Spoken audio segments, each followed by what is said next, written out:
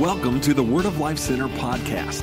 It's our desire that today's message would equip and empower you to see the Word of God bring life to your life. I want to share with you tonight uh, some things. I guess let me let me think of the right way to say this. Um, personal results of the resurrection. You know, um, and I, I, don't mean this in a critical way because I do this from time to time too. Uh, minister from the Word toward people's emotional needs. You know, to try to encourage them or to strengthen them and to build them up. But I found out in my own personal life if you ever get a revelation of what the resurrection did for you, then you'll be able to deal with that yourself. There'll be nothing really outside the purview of your ability to be able to conquer life, conquer things in your life, overcome things in your life that, that, that seemingly may be almost impossible, but you know the resurrection was impossible. Amen? So, what I'm going to share with you tonight are some things that have been done for me by the resurrection, but they'll do, they'll work for anybody that'll accept them. Now, here's the, here's the thing, okay? I'm probably not going to touch an emotional chord tonight. See, you're going to have to get this because it's the Word of God and make up your mind I'm going to do this. I'm going to believe this. This is how I'm going to live my life. Because these are things that I learned early on about the resurrection that, that literally empowered me to live a Christian life.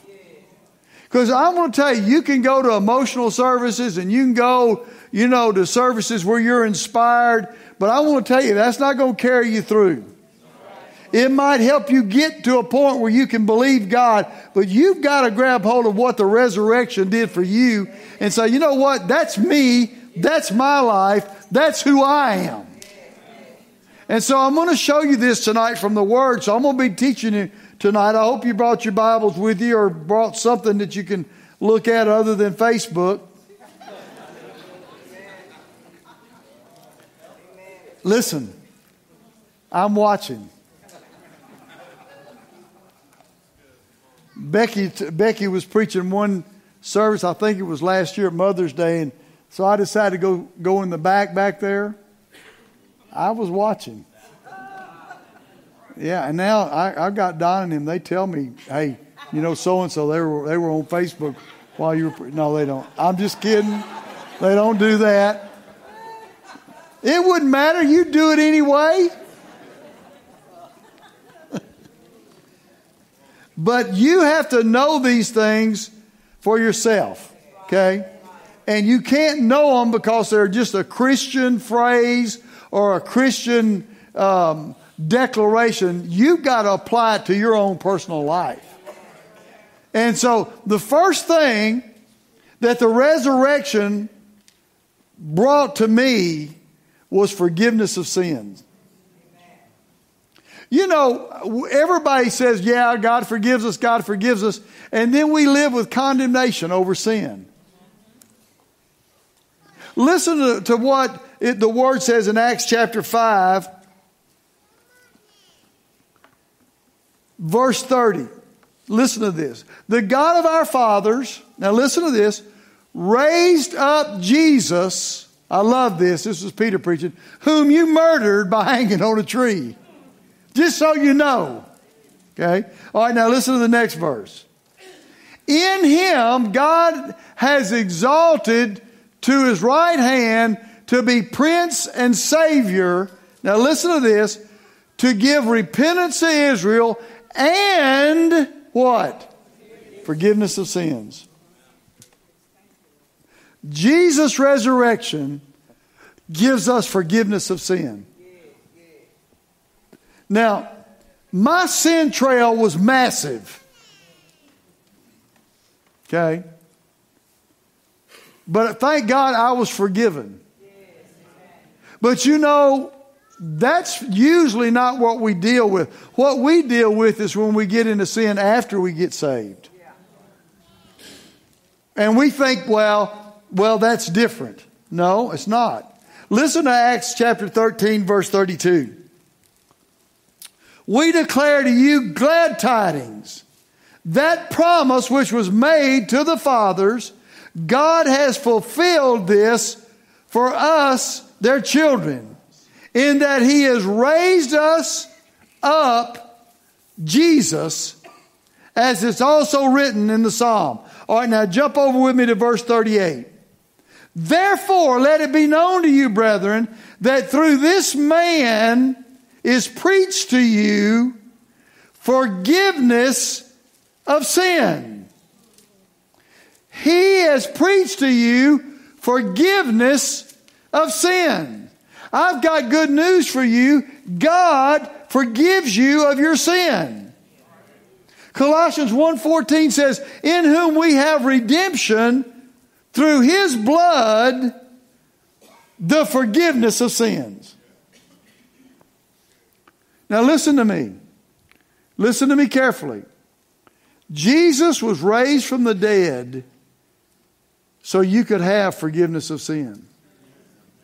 I like what it said, what Peter said, repent and receive forgiveness of sins. You do know that you don't receive forgiveness of sins and stay with it because you've bound yourself to that sin. It's not that God doesn't forgive you, you've bound yourself to that sin. But I've got good news for you. It doesn't matter, and I don't mean this, I'm not a proponent of this, but it doesn't matter how many times you sin or what sins you think you've committed, God will forgive you. That's what he, Jesus came for to forgive you of your sins. And sometimes we get real religious and we always we add a but to that. Well, but there is no but. If you ask God for forgiveness, he forgives you. The Bible says in 1 John 1 9, he is just and faithful to forgive you and to cleanse you. That's our God. Jesus did that in the resurrection. He brought that to us. Forgiveness of sin. Everybody say forgiveness of sins. Forgiveness of sins. Say thank God. thank God. I'm, forgiven. I'm forgiven. Sin is not a controlling factor in my life. Because I repent and I receive, forgiveness. Ha ha, devil. You can't hold me to that. I am forgiven. I am forgiven. You have forgiveness of sin. It belongs to you. Hebrews 9 12. Listen to this. I like this. It says, Neither by the blood of goats and calves, but by his own blood he entered once into the holy place, having obtained eternal redemption for us. His blood in heaven received, provided eternal redemption, which means forgiveness of sins. That belongs to us. Hebrews 9:28 says it this way. Christ was offered once, everybody say once, once, to bear the sins of many. To those who eagerly wait for him, he'll appear a second time apart from sin for salvation.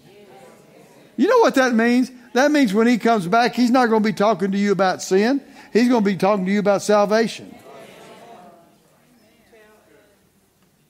So if you've been struggling with sin, ask God to forgive you. And if you were here when John Bevere was here, he spelled it out so clear repent. Go a different direction. You can't keep, a, you have to repent, but He forgives you. Say, well, but I stumbled and I fell again. He forgave you again. Listen, here's one of the greatest things. Uh, the Lord said, he's, uh, He was talking to Peter, And, and Peter, he told Peter, he said, Peter, you're going to have to forgive. And Peter said, I am. yeah. How many times? Seven times 70 in a day. You got to forgive. All right? You think God would do any less for you? Well, he's given up on me. No. Well, but I, I've kept, I've just keep battling the same thing. Well, just keep asking him forgiveness. You fight your way out of it and let God help you. You be amazed. Now, what I'm going to share with you later will help you with that, but you'd be amazed at what can happen. But I want to tell you today, listen to me. The, one of the greatest things that happened to me when I got saved was I found out I was forgiven of my sin. And I found out that Jesus provided that in the resurrection, so it's forever. It's forever. All those ugly things still come in my mind. You ever have ugly things come in your mind? Yeah, I know you don't, but I do. They, they'll pop up, you know, and you, where did that come from? Next thing you know, you, are listening to the devil. Wow, you know, you didn't really get forgiveness. You, you still thinking that. It's still on your mind. Well, you know, the best thing to do, Father, thank you that you forgive me. I, I found out that the devil has no answer for forgiveness of sins. He has no answer for it. Okay? Quit tormenting yourself with sin. And, well, but I got to do something. Yes, you do. Here's what you got to do you got to say, Father, forgive me and then you do your best to go a different direction and ask Him to empower you to go a different direction, you'd be amazed at what you can accomplish. Why? Because the resurrection provided me with redemption through His blood. And I like the way the King James says it. It's almost like even the forgiveness of sin. So you're free. The resurrection brought it. It's ours. Thank God we don't have to deal with it. All right, now here's the thing that helps you get away from sin. Okay? Listen to me. He brought me to a place of righteousness.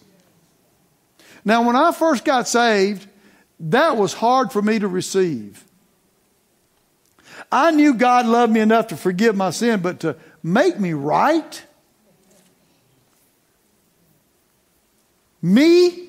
I'm right with God. I mean, I'm okay with God and, and, and He's okay with me and He's okay with me and my life and all my good, the bad, and the ugly. He, he says I'm okay. In fact, I'm so okay, I can talk to Him anytime I want, regardless, because He's there for me. Listen to what it says in Romans chapter 4, verse 25. You ready? It says, He was delivered up because of my offenses. Are you ready for this? But He was raised because of my justification. He was raised so I could be justified. I could be, same word, righteous. I could be right with God. Man, when I, when I realize the power of the resurrection, that God said, You're right with me, it's okay. You look in the mirror and you see imperfection. He looks in the mirror and he sees the blood of Jesus and he says, Yeah, but you're right with me. You are right with me. Now, Here's the thing that a lot of people, well, let me, let me read a couple more scriptures about it first. Listen to this. 2 Corinthians 5.21. Listen. I don't have time to get into this, but this will blow your mind if you really think about it. Jesus was made to be sin who knew no sin. He made him who knew no sin to be sin for us. Now, religious people can't, they, they don't get it. Wait a minute. You mean he died for my sins? No, that's not what it says. Put it back up there. It says he was, listen to this, he was made to be sin, who knew no sin. Do you, under, do you realize, now, just think about this a minute. Do you realize that no person is going to go to hell because of sin?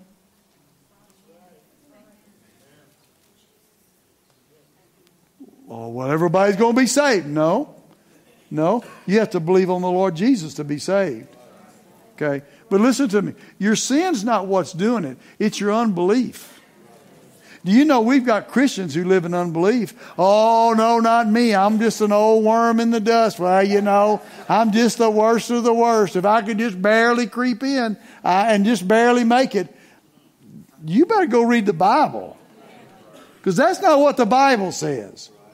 It says he was who knew no sin was made to be sin, and he had a purpose in mind by doing that, that you might be made the righteousness of God in Christ. In Him. When I walk in Jesus, I'm right with God. I'm in the I'm a righteousness of God. I have a right. I have rights. I can go before the throne of God. I can I can pray. I can and I know God hears me. Well, you know, but you were a little bit ugly today, or well, you weren't quite perfect today. I am not justified. I am not made right because of my perfection or my imperfection or my actions. I am made right with God because I believe on Jesus.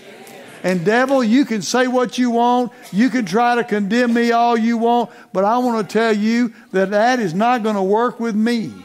Because I am not, Jesus was raised from the dead to make sure that I had the ability to be right with God.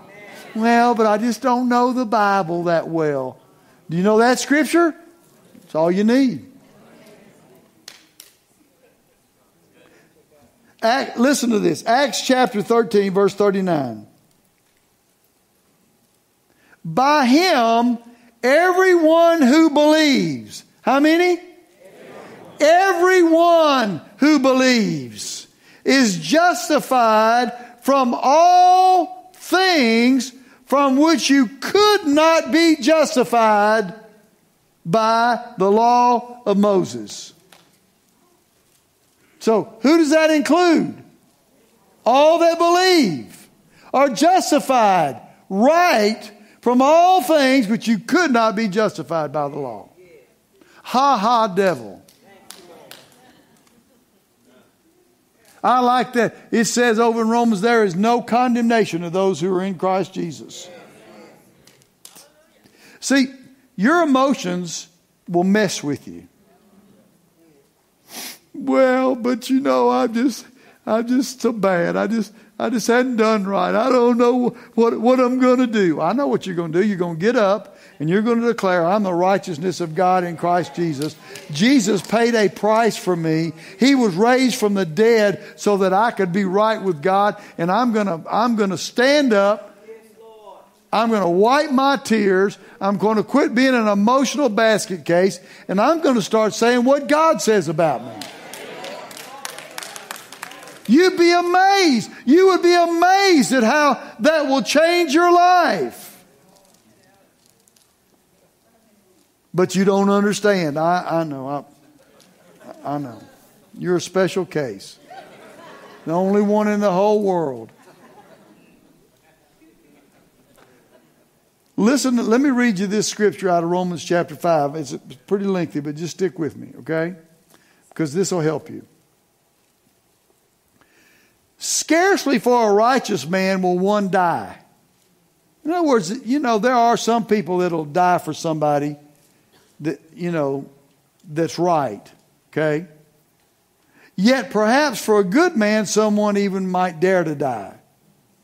But God demonstrated his love toward us, and then while we were still sinners, Christ died for us. While we were still sinners, Christ died for us. While we were still sinners, Christ died for us.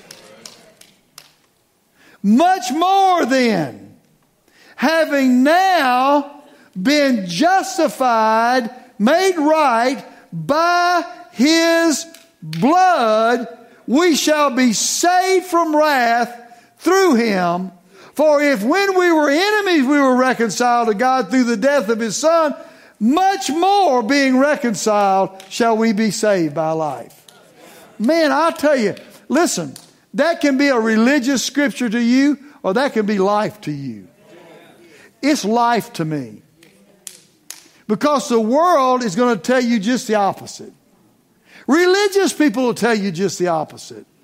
But I want to tell you something. Listen to me. You've got to make up your mind you're going to go to the Bible.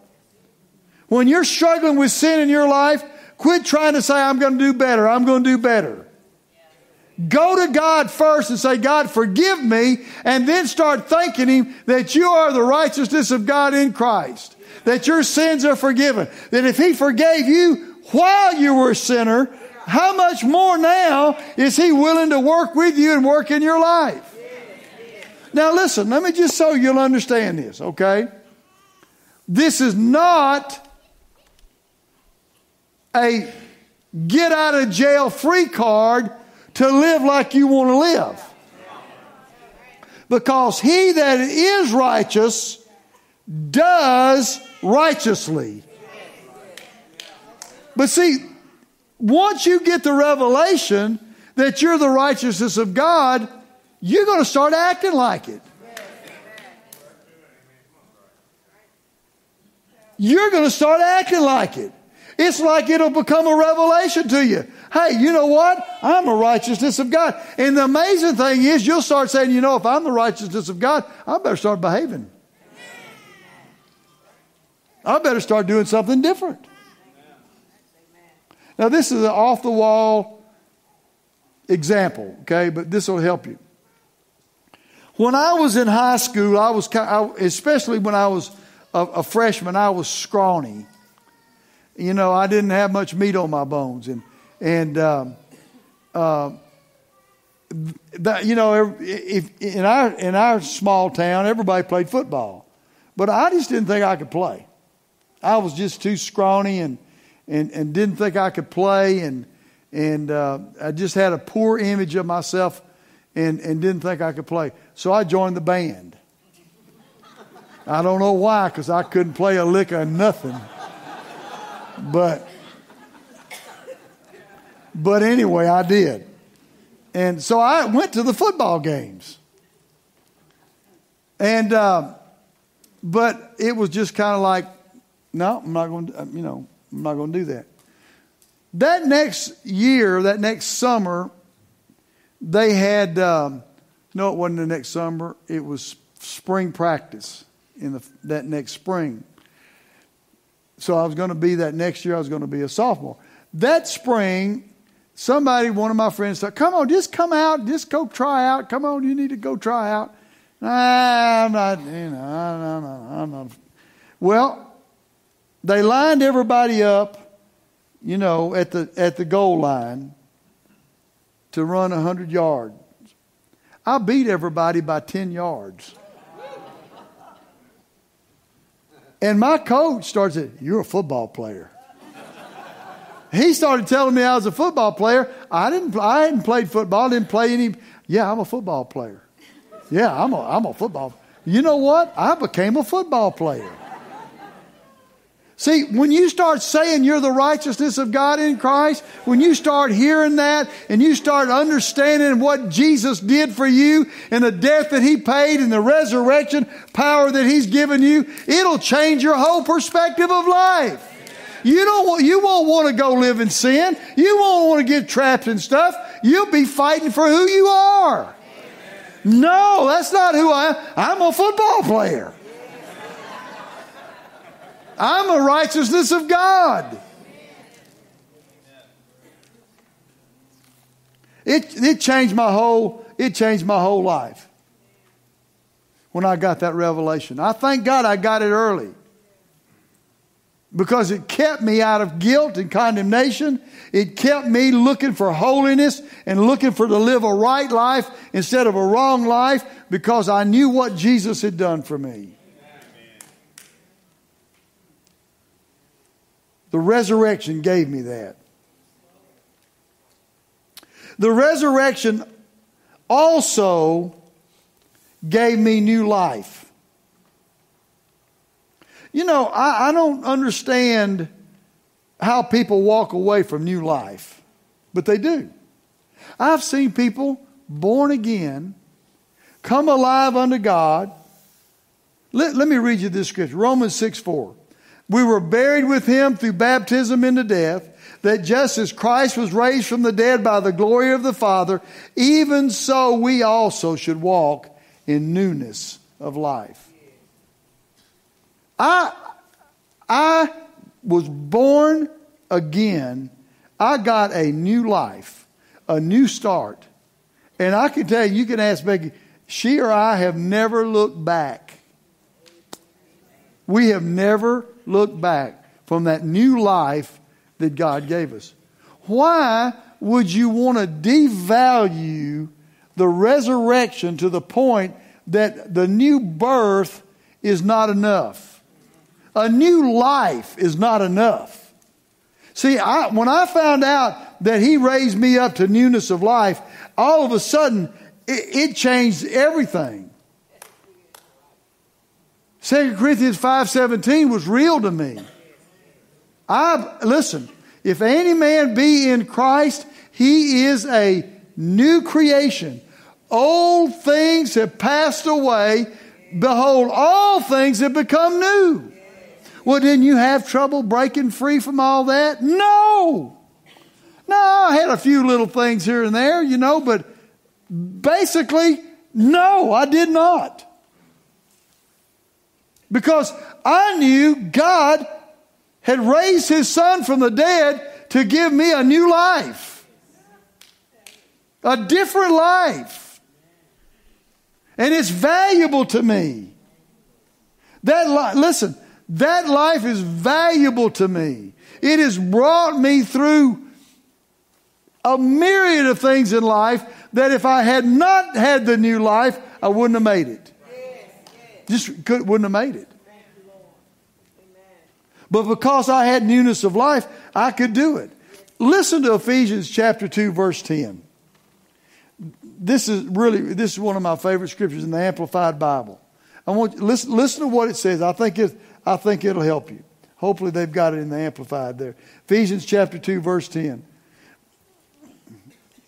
It's not up there, so I'm guessing they don't.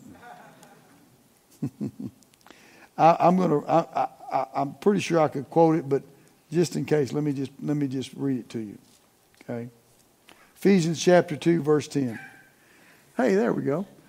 For we are God's own handiwork, his workmanship, recreated in Christ Jesus, born anew, that we may do those good works which God predestined, planned beforehand for us, taking, taking paths, listen to this, taking paths which He prearranged and made ready for us to live. I found that path. I found that path, that new life path. And I, I, am not, I've never gotten off of it. I'm not bragging. It ought to be the testimony of every person. I know you say, well, Pastor, I didn't. Get back on it. You're still a new creature. You just don't know it. You're just acting like the old man. You've got to understand and realize that's not who I am.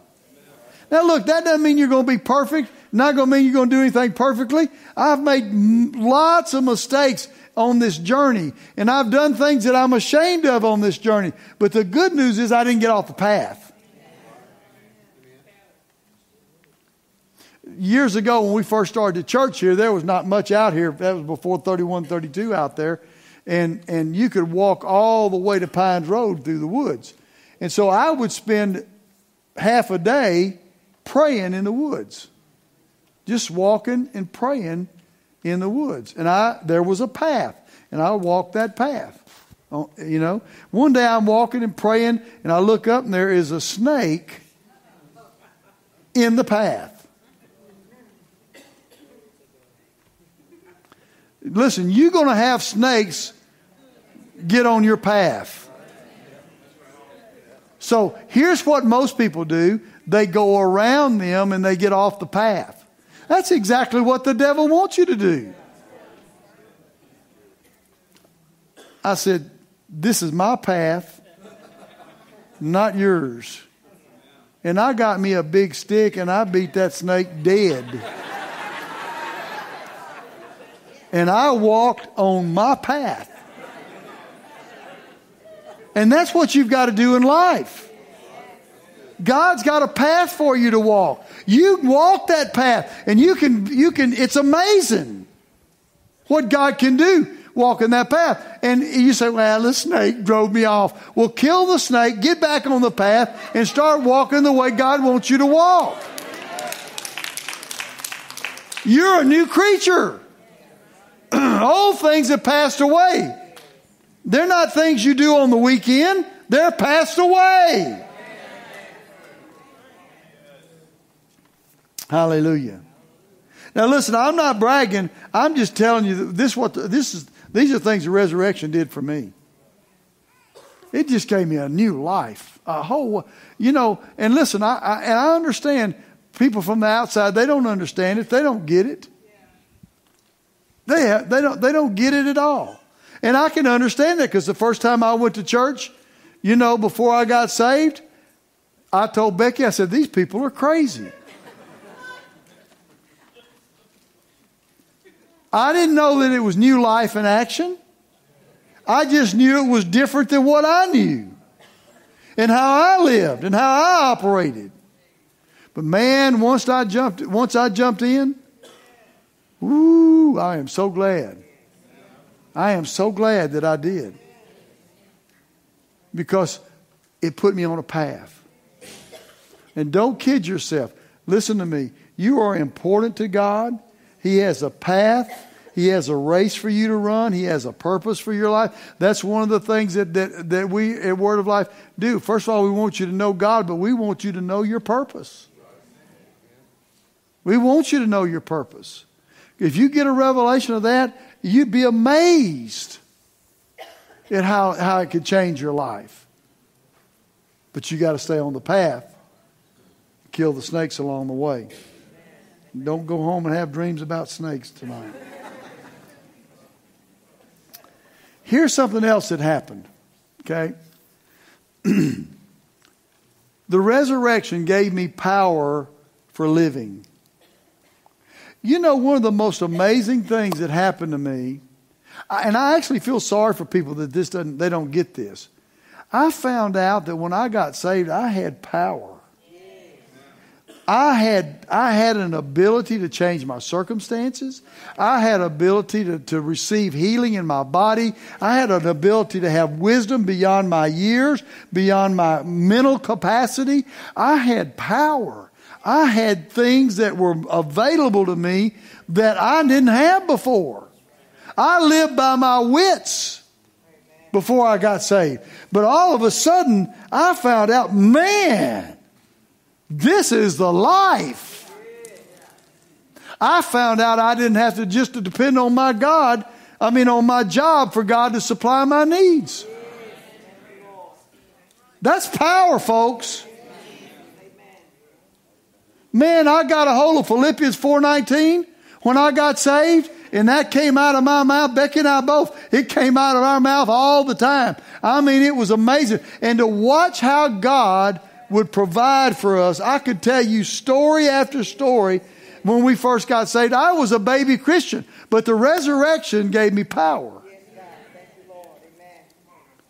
We didn't have any money. I'd go to I'd go to work and have to drive across town, and the car would be on empty. You just put a piece of cardboard over it, and really, that's exactly what. We, just put cardboard over the empty and keep driving. Now, if your face not there, don't do it, but I'm just telling you, it worked.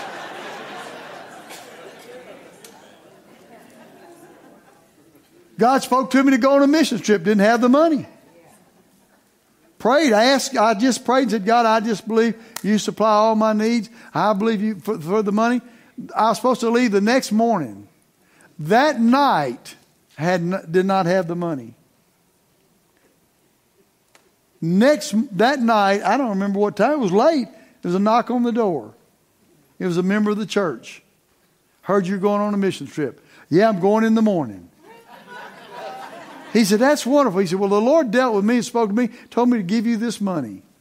It was the exact amount of money that I needed to go on that trip. Listen, folks, that's power. I found out I had power. I didn't do it for greed. It wasn't something that I did in the flesh, but I had power. God gave me power. And you know, the Bible says in Ephesians chapter 1, verse 19 and 20, that He did it. He gave me power. And, he, and Paul prayed that we'd understand we had power. And then it goes, in verse 20, it says, because God demonstrated it by raising Jesus from the dead, which He worked in Christ when He raised Him from the dead. That's pretty powerful stuff. I don't think we've even dare even tapped into all that God wants to do for us. Well, I tried that and it didn't work. Well, try again. Try again. You know, nowadays it's not as big a deal, but you know, when I was growing up, I had an old 53 Chevrolet and it never started the first time. It never started the first time. I didn't even expect it to start the first time. But you keep pumping that gas and cranking on it, finally, it start. Keep pumping the gas. Keep starting. Don't ever quit. Don't ever give up. Keep believing. Keep expecting. Keep asking God. Why? Because you've got that power. You've got it. All right, I got two more real quick. I know I'm, I'm just about out of time, but listen to this. This is something that, that we, we know mentally, but you've got to get a greater revelation of. He gave me eternal life. He gave me eternal life. I, I, I found out that, that, when, I, when I made Jesus the Lord of my life, I, I got e- eternal life. It's a free gift from God. The resurrection, listen to me, guaranteed me eternal life.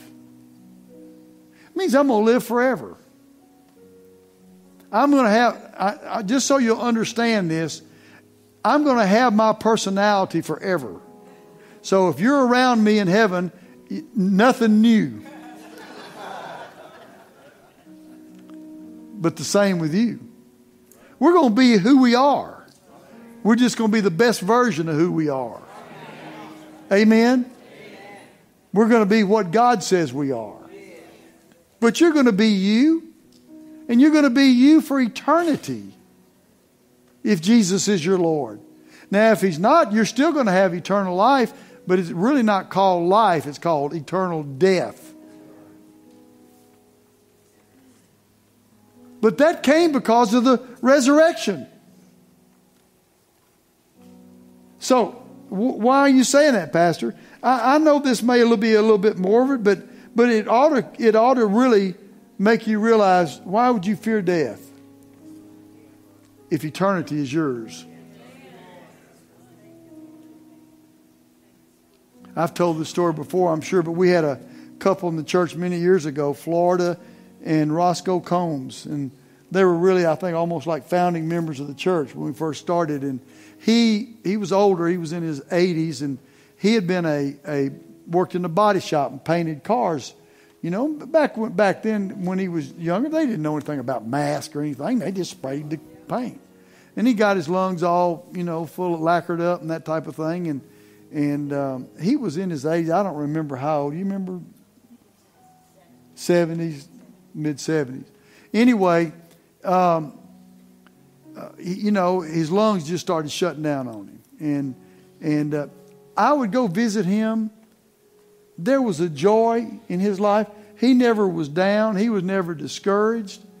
And he was laying there uh, in the bed, and Florida there, was there next to him. And, and uh, he sat up in the bed and said, Well, there's Jesus. I got to go. Laid down and died. Just, he was gone. When eternal life is real to you, you don't have to fret about that. Oh, we're going to see our loved ones in heaven? I believe we will, absolutely. Yeah, absolutely.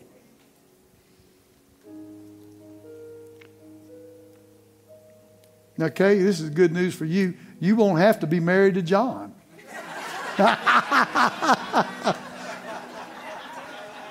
well, Jesus taught that. No marriage in heaven.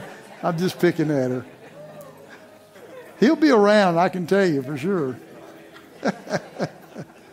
but listen, when you lose a loved one, I understand. You, you've got a soul tie there, you're hooked up with them. But the good news is they hadn't gone very far. Amen. They hadn't gone very far if Jesus is their Lord. All right, last one, and um, I, am through. And I'm, I'm going to just give you this one. I'm not going to uh, read it, but uh, it's in 1 Corinthians 15. But here's the thing I have hope for tomorrow. And I know I've just said about that about eternal life. But you know, I, we, we are either going to breathe our last breath and be with Jesus, or Jesus is going to come back for us, and our mortal body is going to put on immortality. Man, I want to be a part of that train. I mean, I, I, I'll go either way, but I would love to be here and feel that energy. Same resurrection energy that Jesus experienced is going to flow through your body, and mortality is going to be swallowed up by immortality. You're going to become immortal. Your body is going to totally change. All the deformities, all the, I'm sure you won't even, good news, you won't have gray hair. Good news, some of you will get your hair back.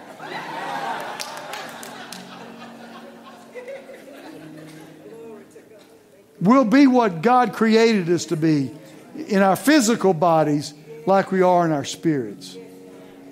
So you've always got hope for tomorrow. Well, I'm just discouraged. Why? Well, I'm just having a bad day. Well, you've got eternity. Get over it. Enjoy life. Let God work in your life. Let God do something different in your life. Amen. But but that's what the resurrection gave me. That's not something I, I, I just kind of put together a good sermon. These are things that, that I got. They belong to me. And I just want to encourage you tonight. Listen to me. Don't let emotion or struggles or trials rule your life. Go to the Word of God and find out what the resurrection did for you. And it'll bring encouragement to your life as long as you're on the earth. You go look at some of the uh, uh, the apostles and and you go read about the martyrs. There are a lot of people that died, you know, horrible deaths for the gospel, but they did it with joy because they had a revelation. You can surely get through tomorrow with what I gave you tonight. Amen. Thanks for listening to the Word of Life Center podcast. You can connect with us on Facebook and Twitter or at our website, wordoflifecenter.org.